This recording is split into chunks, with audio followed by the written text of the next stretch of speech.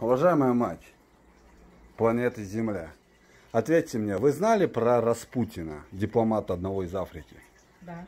А вы знали, что туда уехал один в Британию, чуть раньше такой, вся искукоженная рука, как будто она вся съеденная такая, Ну, острая. слышала, да. Слышал, да? Да. А ты знаешь, что, что Африка, Британия и Россия это раб слово? И что в этом рабстве русский народ находился больше, чем 300 лет. Ну, да, слышал. Слышали, да?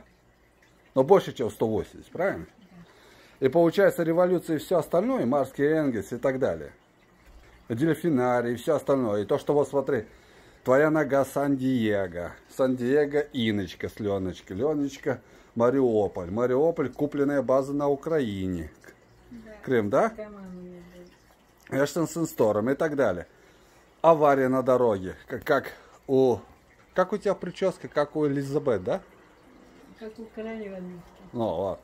И так далее. И это все вместе вооростут дельфинов, убийство дельфинов. И то, что Трамп обещал сожрать дельфинов в Германии, такой был, запись была. Как может сажать здесь? И теперь я тебя спрашиваю, если Россия находилась в рабстве в африканской Иберии, то Иберия или не Иберия? Иберия, которая воровала украинку, как раз она своровала для турок, Понятно. Роксолан. Понятно. Это и есть управление голосами. И антенны на уровне ДНА. И теперь США доказала, что Африка считается ее частью народности объединенной.